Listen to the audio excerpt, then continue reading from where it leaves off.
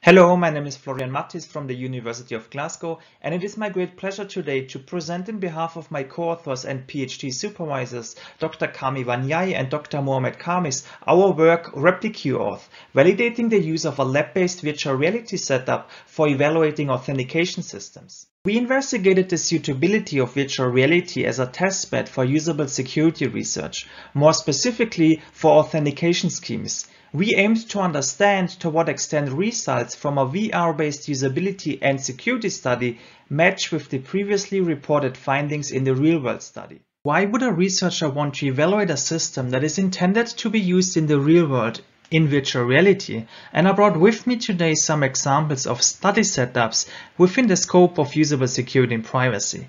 Corresponding research studies often require a significant amount of hardware such as cameras, touchscreens, 3D printed prototype systems, just to name a few. And as a result, conducting such studies is often challenging and costly.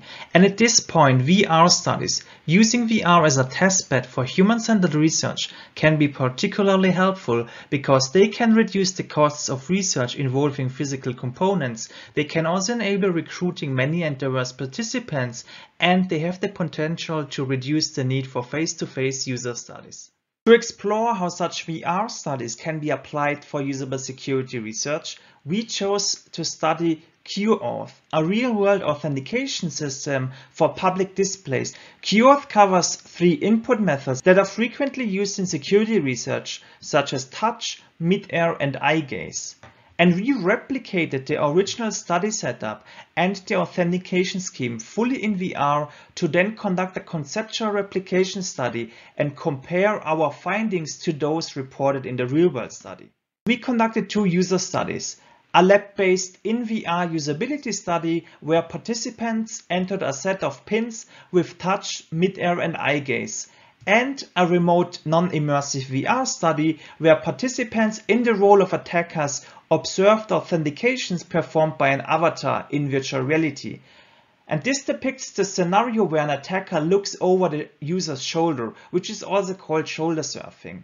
When taking a look at our in-VR usability study, we found many similarities between our VR study and the real-world study. However, we also found that authentication with touch input took significantly longer in our virtual reality study. The other was found for eye gaze.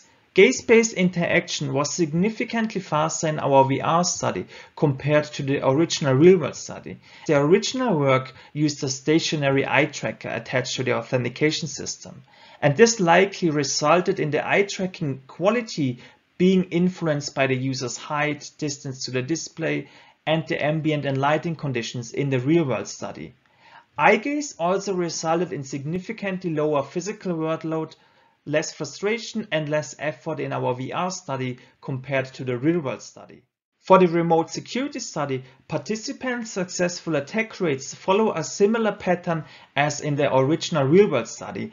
Input with eye gaze was overall the most secure input method. Repeated video attacks on touch and mid-air resulted in a higher successful attack rate. This was not the case when attacking eye gaze, which is in line with the original real-world study.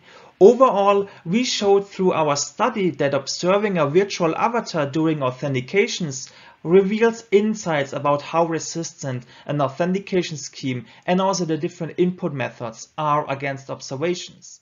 To conclude, our research showed that the transferability of quantitative results from VR to the real world highly depends on how well reality and its limitations are emulated.